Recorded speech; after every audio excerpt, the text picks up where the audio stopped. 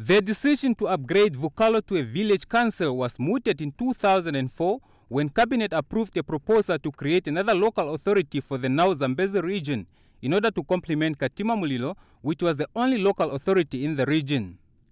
Before the by-election took place, the ECN said enough officials were deployed at the village to carry out voter education campaigns and to sensitize the residents about the significance of the by-election.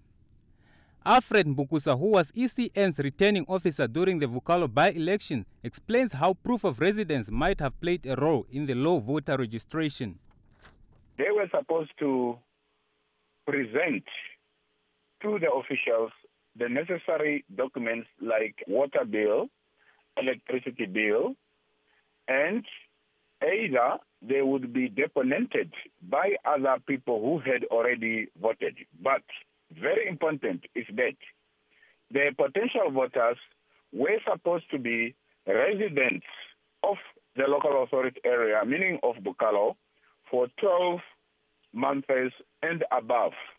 Failure to that, then they do not qualify.